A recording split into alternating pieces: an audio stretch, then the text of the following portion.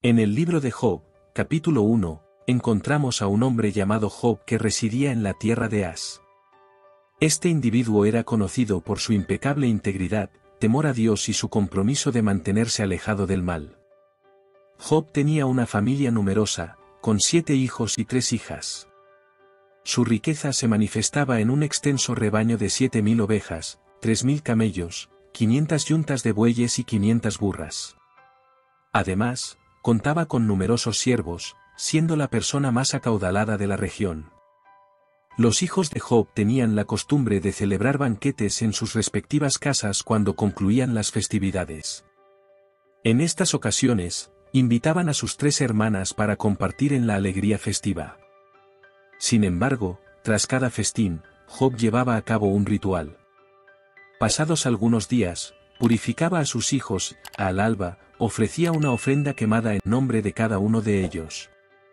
Lo hacía con la preocupación constante de que, quizás, sus hijos hubieran pecado o maldecido a Dios en sus corazones. Este acto de purificación era una práctica regular en la vida de Job. Este era un hábito constante en la vida de Job. En cierto día, los miembros de la corte celestial se presentaron ante el Señor, y entre ellos estaba el acusador, Satanás. El Señor dirigió la pregunta a Satanás, ¿de dónde vienes? Satanás respondió al Señor que había estado recorriendo la tierra y observando. Entonces, el Señor le preguntó a Satanás si había prestado atención a su siervo Job, destacando que Job era el hombre más justo de toda la tierra, una persona intachable y de integridad absoluta. Job temía a Dios y se mantenía alejado del mal. Satanás respondió al Señor diciendo que Job tenía razones para temer a Dios, ya que el Señor lo había rodeado de un muro de protección, cuidando de su casa y posesiones. Satanás enfatizó la riqueza de Job y propuso que se pusiera a prueba, permitiendo que todo lo que poseía fuera sometido a pruebas, pero sin causarle daño físico. Luego, Satanás se retiró de la presencia del Señor. En otro día, Mientras los hijos e hijas de Job celebraban en la casa del hermano mayor, llegó un mensajero a la casa de Job con noticias alarmantes. Mientras los siervos estaban ocupados arando y los burros pastaban pacíficamente a su lado, un grupo de asaltantes los atacó sin previo aviso. Estos criminales robaron todos los animales, trágicamente, mataron a los trabajadores que cuidaban de ellos. Fui el único sobreviviente que pudo contar lo sucedido mientras este mensajero aún hablaba. Luego, otro mensajero llegó con noticias similares sobre las ovejas y los pastores. Una vez más, fui el único que pudo escapar y relatarlo. Mientras este segundo mensajero narraba los hechos, llegó un tercero con información adicional, tres grupos de saqueadores caldeos habían asaltado, robando los camellos y llevándose a los siervos como prisioneros. Fui el único sobreviviente que pudo contar lo ocurrido. El tercer mensajero ni siquiera había terminado de hablar cuando otro llegó con una noticia aún más trágica. Resulta que los hijos e hijas de Job estaban celebrando en casa del hermano mayor cuando, de repente, un poderoso viento del desierto azotó la casa desde todos los lados. La casa se derrumbó, y todos los presentes perdieron la vida. Nuevamente, Fui el único que logró escapar para contar esta devastadora noticia.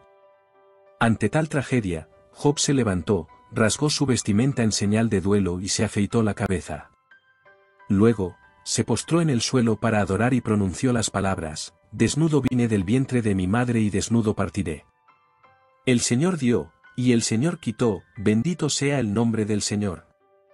Estas palabras reflejaban la profunda fe y resignación de Job ante las pruebas que enfrentaba. A pesar de todas las adversidades, Job no cometió pecado alguno y no culpó a Dios.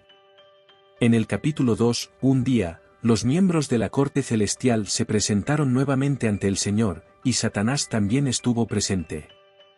El Señor le preguntó a Satanás sobre su procedencia, y éste respondió que había estado recorriendo la tierra y observando. Entonces, el Señor planteó la cuestión de Job nuevamente, destacando que era el hombre más íntegro y recto de toda la tierra, un individuo intachable que temía a Dios y se mantenía alejado del mal. Además, subrayó que Job había mantenido su integridad a pesar de que Satanás lo había incitado a hacerle daño sin motivo alguno. Satanás, por su parte, respondió al Señor. Cualquier hombre estaría dispuesto a sacrificar todo lo que posee para preservar su vida. Por lo tanto, extiende tu mano y quítale su salud, pero ten en cuenta que no se le debe quitar la vida, así dijo Satanás al Señor. Después de esta conversación, Satanás dejó la presencia del Señor y afligió a Job con dolorosas llagas en la piel, desde la cabeza hasta los pies. Job, afectado por su enfermedad, se sentó entre las cenizas y se rascó con un pedazo de teja. Su esposa, viendo su sufrimiento, le sugirió que maldijera a Dios y muriera. Sin embargo, Job respondió con sabiduría, diciendo que su esposa hablaba como una mujer insensata. Él afirmó que sólo aceptaría las bendiciones que vinieran de la mano de Dios y nunca maldeciría a Dios, a pesar de sus dificultades. A pesar de todo, Job no pecó ni dijo algo incorrecto. Tras enterarse de la tragedia que había asolado a Job, tres de sus amigos viajaron desde sus respectivos lugares de origen para brindarle consuelo y apoyo en su dolor. Estos amigos se llamaban Elifaz el Temanita, Bilda del Suitá y Zofar el Naamatita. Cuando avistaron a Job a lo lejos, quedaron impactados por su sufrimiento y se lamentaron profundamente. Rasgaron sus ropas y arrojaron polvo al aire, un gesto que simbolizaba su dolor. Durante siete días y siete noches, estos amigos se sentaron junto a Job en el suelo en un silencio compasivo. No pronunciaron palabras, ya que comprendieron que el sufrimiento de Job era tan abrumador que no había necesidad de expresarlo con palabras. Su presencia allí era un acto de solidaridad y empatía en medio de la angustia de Job.